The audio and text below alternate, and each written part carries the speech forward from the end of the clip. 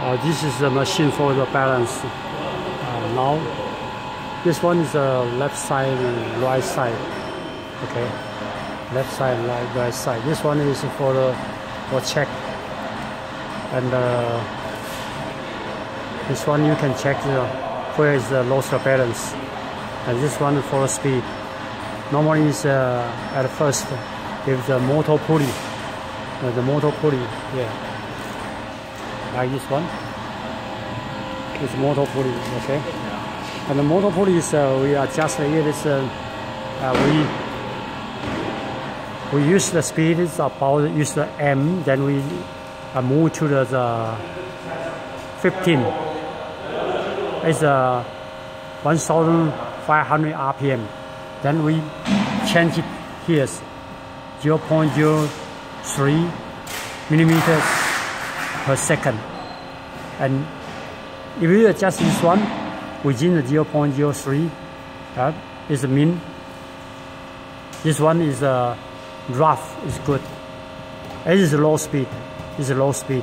So at first we use the low speeds and adjust the balance within the 0.03. When you turn this uh, switch to a 0.03, it mean uh, one division each of the divisions is 0.03 each divisions. So you have within here, when you put a 0, 0.01, is one, one division is 0.01.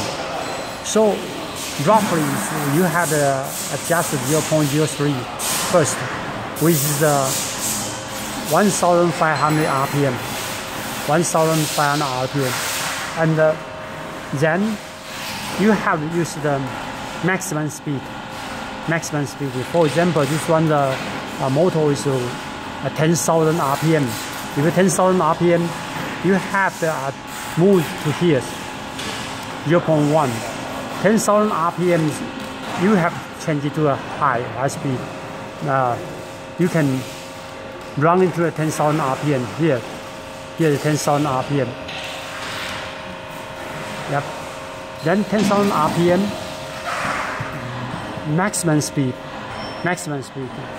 It uh, uses unit uh, 0.1. 0.1 is one division is 0.1. So each uh, division is 0.1. Each division is 0.1. Okay? Then you need to adjust within the 0.3 0.3 millimeters per second. This means you put here 0.1, then you can let the division move like this way. One, two, three, to here.